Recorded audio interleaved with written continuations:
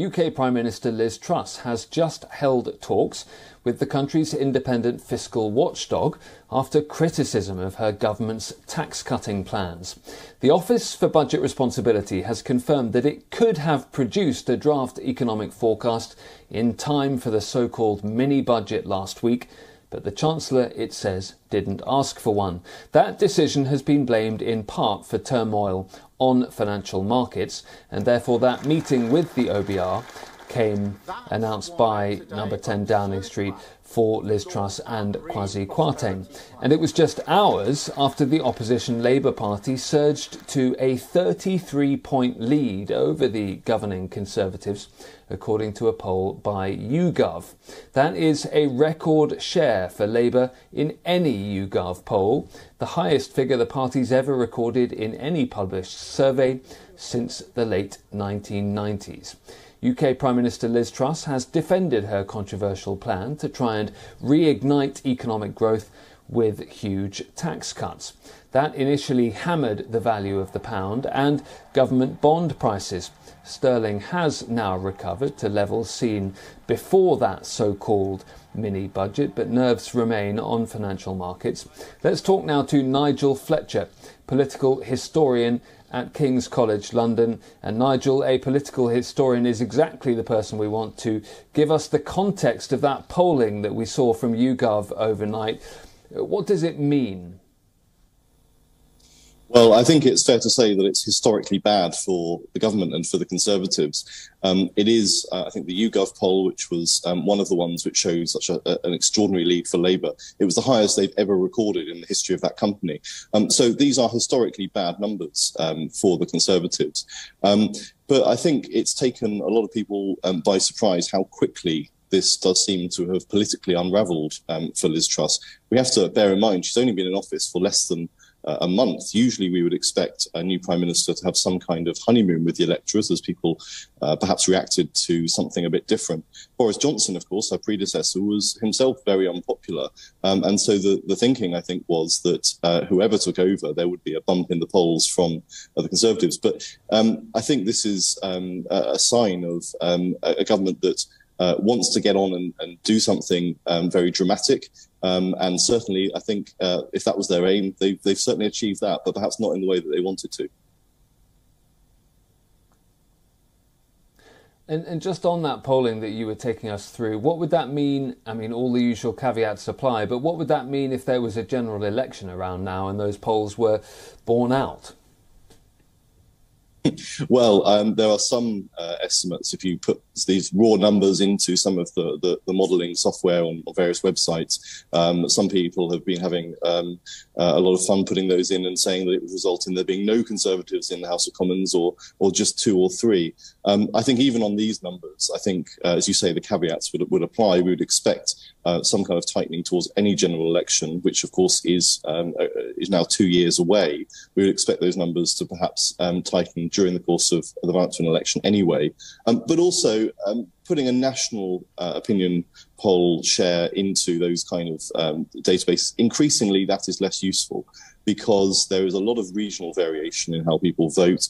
Uh, there are some areas where the Conservatives rack up huge amounts of votes in some places where Labour racks up huge amounts of votes. It's not evenly distributed throughout the country. So putting those raw numbers into a database and saying that, you know, this means the Conservatives will be wiped out, um, I, think, uh, as, as, Peter Snow used to say on, on BBC um, election nights, just a bit of fun. But certainly, I think we shouldn't underestimate that on, on the basis of these numbers, it's a, the Conservatives are looking at a, a landslide defeat uh, of the scale um, of the 1997 general election, or even worse at this point. Um, so we'll have to see what happens in the next two years. Well, indeed, what is Liz Truss's way out of this uh, conundrum, if indeed there is one? Well, that's really the key question. And I think lots of people will be looking to her speech in uh, Birmingham next week at, the, week at the Conservative Party conference for any sign of how she's going to respond to this uh, this issue. Whether she is going to, as she did in her interviews yesterday, whether she's going to double down and say there is, as far as she's concerned, no problem uh, with her approach, and that all of these issues are external to the government, which is the position that she and the Chancellor have taken, or whether uh, in the, the face of quite a lot of uh, commentary and, and opposition from her own backbenchers, a lot of nervousness, understandably. Um, whether in the face of that she will signal uh, some uh, form of concession. And I think that's really what we're, we're all waiting for. Um, I don't know whether we're going to expect any um, statement after the OBR meeting. We may, may, already have had it, I don't know. But um, the outcome of that, it, it, it seems um, perhaps is, is less likely to be a, a big intervention. But the conference in Birmingham next week is going to be extremely interesting. There'll be a lot of very worried and very unhappy Conservatives there, um, and a new Prime Minister who would normally be expecting uh, to, to meet the conference uh, in a, a, mood of triumph as the new leader is going to have to uh, set out how she is going to, to respond to what is, uh, in, in certainly in, in political terms, a crisis for the Conservative Party.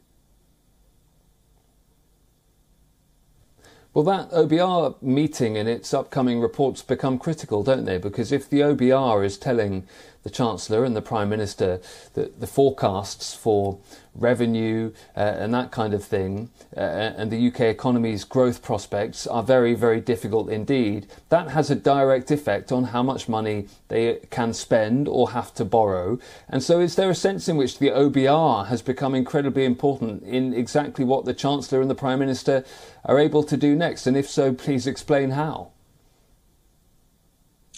Yes, I think it, is, and it's uh, it's interesting that the OBR that was set up um, by George Osborne when he was uh, Chancellor um, is now playing such a central role, and I think that the the decision by the Chancellor not to publish an OBR uh, forecast alongside his budget uh, that has caused them huge problems, and I think that's what we're seeing reflected today, a week on uh, with this meeting. Um, in the past, when uh, chancellors made budget statements and, and fiscal announcements, uh, you would have a lot of commentary from sort of expert um, economists, many of whom would disagree with one another.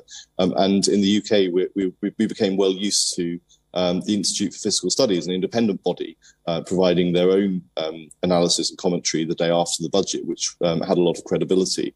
Um, what George Osborne did was make that a formal um, institution of, of government. Um, and that has, I think, grown in its role um, and is seen by the markets and, and by uh, politicians as being um, the, the, the, sort of neutral arbiter in, in, in sort of the analysis of, uh, of, of, budgets uh, that the government's put out. So I think you're right. They have certainly taken on in the context of what we're seeing with this huge, huge turmoil in the markets, uh, a very important role. What they come out with, uh, any statement they make or any analysis that they publish, uh, has added significance now because it will, as you say, have direct impact um, on uh, the, the, markets and how much um, the government is able to uh, to manoeuvre its way out of a very difficult situation. Nigel, thank you. That's Nigel Fletcher, political historian at King's College London.